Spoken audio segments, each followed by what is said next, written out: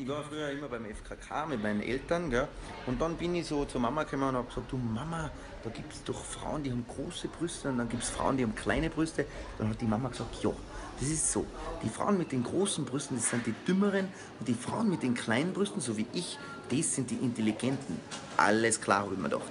Zehn Minuten später komme ich wieder, frag du Mama, da gibt es ja Männer, die haben so einen richtig großen und dann gibt es Männer, die haben so einen richtig kleinen. Dann sagt die Mama, ja, das, da ist es genau umgekehrt. Die Männer mit dem Großen, das sind die Intelligenten und die Männer mit dem Kleinen, das sind die Dümmeren. Alles klar. Zehn Minuten später komme ich wieder, ganz aufgeregt, fragt die Mama, was los ist.